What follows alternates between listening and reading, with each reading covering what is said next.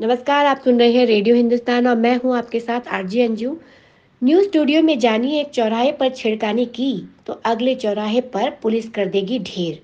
मुख्यमंत्री योगी आदित्यनाथ ने कहा है कि अब अगर कोई अपराधी या समाज विरोधी तत्व जो पहले किसी एक चौराहे पर किसी बहन या बेटी को छेड़ता हो, दूसरे चौराहे पर डकैती डालने का दुस्साहस करता हो, अब नहीं कर पाएगा पुलिस उसको। अगले चौराहे पर ढेर कर चुकी होगी। मुख्यमंत्री योगी आदित्यनाथ ने आज कानपुर में पीएम आवास योजना के तहत आभार्थियों को घर की चाबी सौंपी। यही सीएम ने आज कानपुर में आयोजित प्रबुद्ध जन सम्मेलन को संबोधित करते हुए तीन सौ अठासी करोड़ रुपए की दो सौ बहत्तर विकास परियोजनाओं का लोकार्पण और शिलान्यास किया है। इस दौरान उन्होंने जनता का आभार व्यक्त करते हुए कहा है कि डबल इंजन की सरकार कानपुर समेत प्रदेश के विकास की प्रतिबद्धता के लिए काम कर रही है। सीएम योगी ने जनता को संबोधित करते हुए कहा है कि कानपुर कभी उत्तर भारत के मैनचेस्टर के रूप में विख्यात था।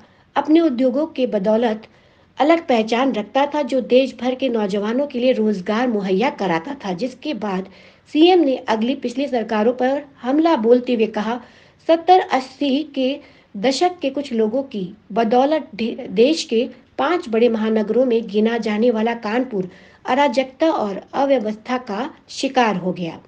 छेड़खानी करने पर अपराधी होगा ढेर। मुख्यमंत्री योगी आदित्यनाथ ने कहा कि 18 शहर आईसीसीसी के साथ एकीकृत करते हुए सेफ़ सिटी के रूप में बन रहे हैं। अब कोई अपराधी या समाज विरोधी तत्व जो पहले किसी एक चौराहे पर किसी बहन या बेटी को छेड़ता हो, दूसरे चौराहे पर डकैती डालने का दुस्साहस करता हो, अब नहीं कर पाएगा। सीसीटीवी कैमरा हर एक गतिविधि को अपने पास रखेगा। अगर किसी ने एक चौराहे पर कोई शरारत की तो अगले चौराहे पर पहुँचते पहुँचते पुलिस उसको ढेर कर चुकी होगी। अब कोई भी सुरक्षा में सेंध लगाने का दुस्साहस नहीं कर पाएगा। उन्होंने आगे कहा कि आईसीसीसी के तहत कानपुर सहित 18 शहरों को सेफ़ सिटी बनाने के कार्यक्रम को आगे बढ़ाया जा रहा है। इसका परिवर्तन व्यापक रूप से देखने को मिल रहा है।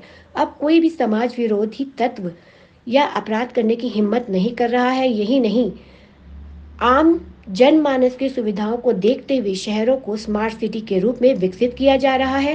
कानपुर में कानून व्यवस्था हुई स्थापित। सीएम योगी ने कानून व्यवस्था और मज़बूत करने के लिए सेफ़ सिटी की बात की है। उन्होंने कहा कि प्रदेश में कानपुर समेत 18 शहरों को सेफ़ सिटी बनाया जाएगा। मुख्यमंत्री इसके पीछे प्रदेश में कानून व्यवस्था को और बेहतर करने की कोशिश कर रहे हैं। न्यूज़ स्टूडियो में अन्य खबरें जानने के लिए हमारे साथ बने रहिए रेडियो हिंदुस्तान के मंच पर। तब तक के लिए नमस्कार।